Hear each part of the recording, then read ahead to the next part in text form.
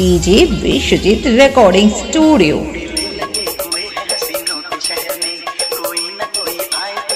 फाड़ के रख देगा